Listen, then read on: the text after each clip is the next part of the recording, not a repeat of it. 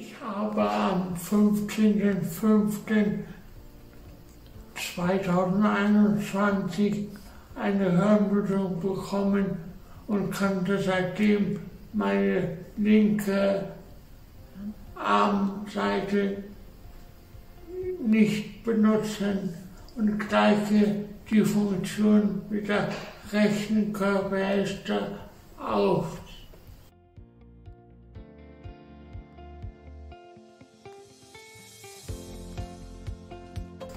Also mir als Ergotherapeutin ist ja am wichtigsten die Selbstständigkeit im Alltag und das ist auch unsere Herangehensweise. Äh, wir suchen uns die Aktivitäten des Alltags, wie beispielsweise das Essen, selbstständig zu essen mit Besteck und trainieren die Funktion der Hand und der oberen Extremität beim Essen.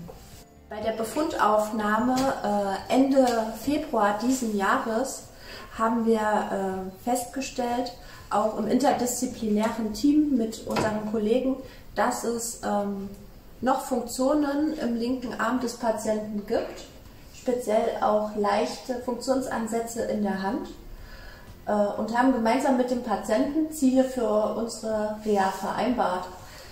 Äh, unser Ziel ist es, die linke Hand so weit ähm, zu fördern, dass sie im Alltag unterstützend selbstständig eingesetzt wird.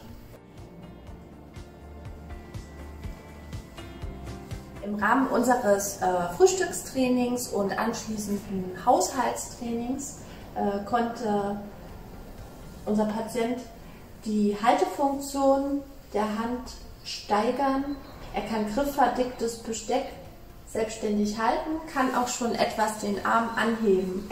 Nach dem Frühstückstraining ähm, räumen wir mit den Patienten gemeinsam den Tisch ab, wischen den Tisch ab und ähm, hier wird trainiert, die Haltefunktion im Alltag weiter zu schulen, sodass Abwaschen, Abtrocknen ähm, wie manuell möglich wird.